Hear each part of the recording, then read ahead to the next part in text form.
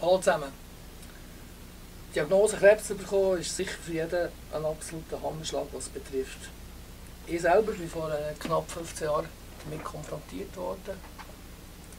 Jetzt bin ich hier, mir geht es gut. Aber natürlich nicht alle so viel Glück wie ich. Ich bin der George, Mundhartmusiker aus dem Seeland.